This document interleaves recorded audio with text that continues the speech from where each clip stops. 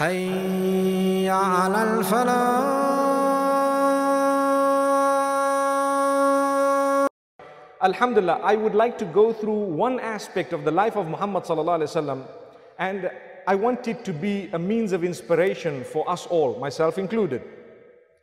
It is called waiting for the turning point in others. What does that mean? It's something amazing. Waiting for the turning point in others is part of the sunnah of Muhammad sallallahu alaihi wasallam.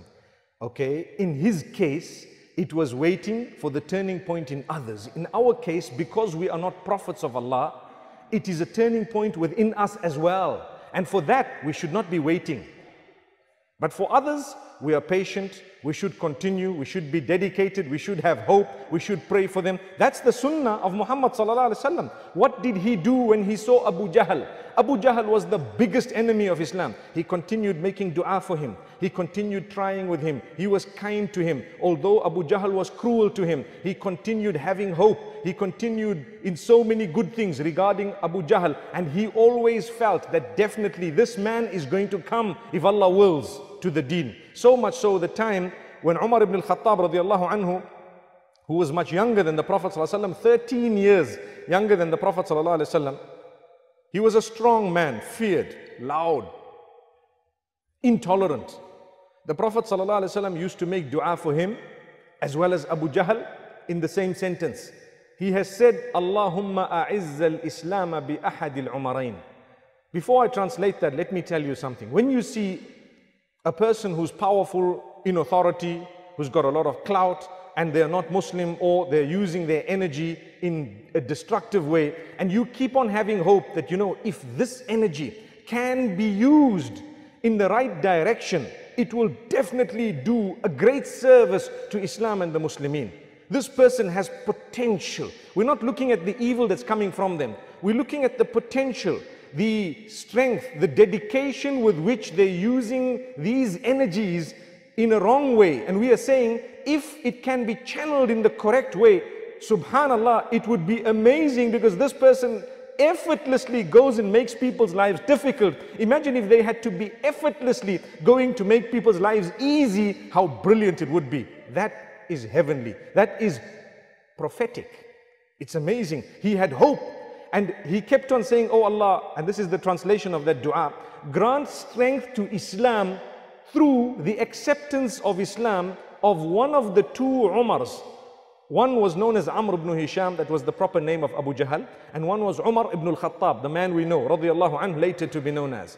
So he kept making this dua, and he kept asking, and he asked Allah subhanahu wa ta'ala, do you know why? He was waiting for the turning point in them, waiting for it. He knew it would come when Allah wills, if Allah wills. But for him, he knows his duty was to convey the message, to keep on being kind, be the best person, continue having hope. They will come one day. And they came.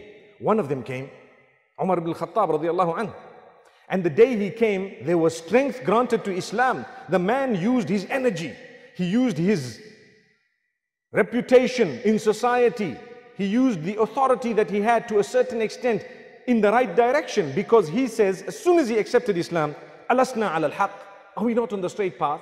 And the Prophet ﷺ says, Yes, we are. Indeed, we are. Why should we fear people? Let's fulfill salah in public. Let's engage in our prayer in public. Why should, be we, why should we be worried about these people of Quraysh who, that they may harm us, they may do this, they may do that? They can do nothing. I am there. Allah is there. So they had these two rows of people. One was led by Hamza ibn Abdul Muttalib and the other was led by Umar ibn Khattab radiallahu anh. They marched in full view of the people of Quraysh to the Haram, to Mecca. For the first time they read Salah in congregation. At that time Salah was not yet compulsory. It was still a voluntary act of worship. And they went forth and they engaged in Salah. The Salah that was given in Mi'raj was that Salah which was now compulsory. And that's when it became five times. Five times a day. That is later on. But earlier it was voluntary. It was only two units and it was voluntary. So they got to the Kaaba, they got to the front and they read Salah openly. They read Salah clearly. They used to face Jerusalem at the time. It's something unique. But the point being raised is Umar ibn al-Khattab radiallahu anhu was Really, a man whom Allah used in order to strengthen the deen.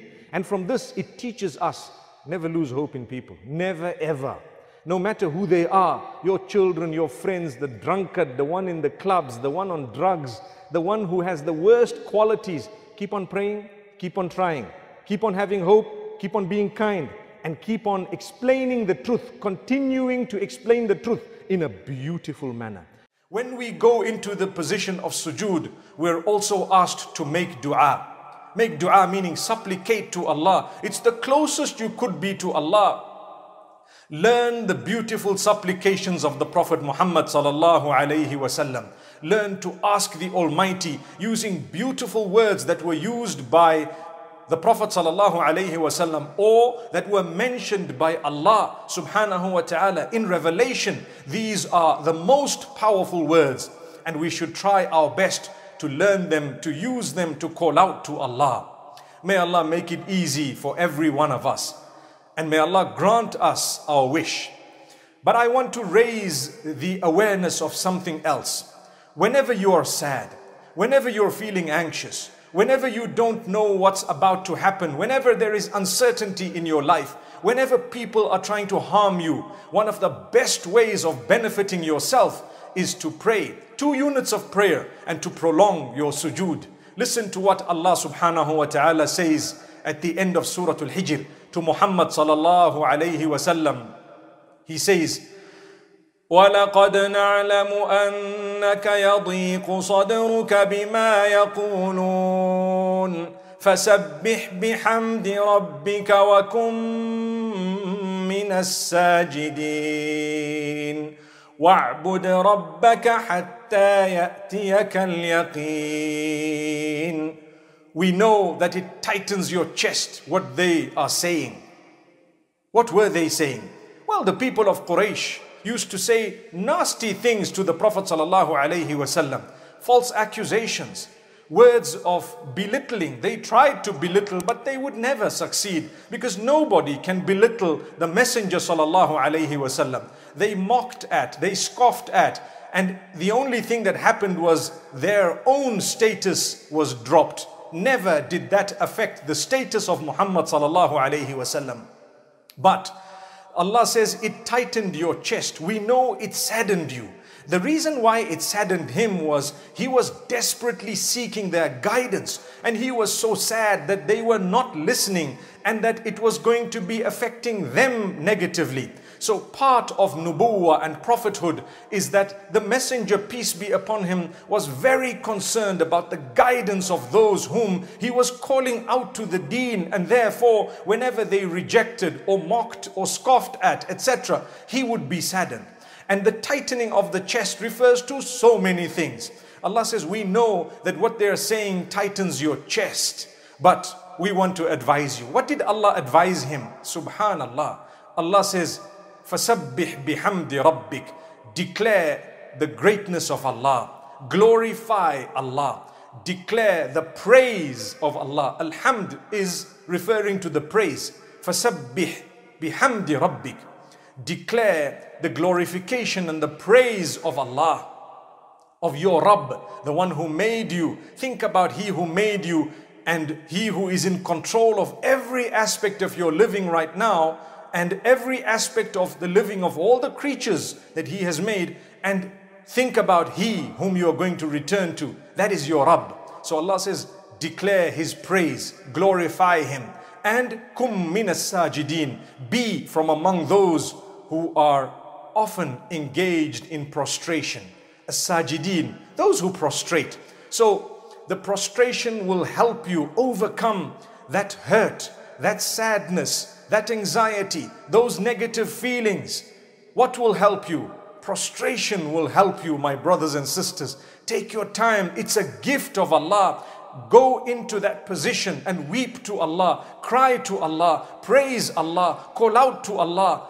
Do whatever you would like to for the sake of Allah in that position in terms of the words you're going to say and cry to Allah. Remember, we're taught how to prostrate. But we're also taught by the Prophet ﷺ that we are allowed to call out to Allah in that position of prostration. So get into that position and call out to Allah. May Allah subhanahu wa ta'ala grant us acceptance.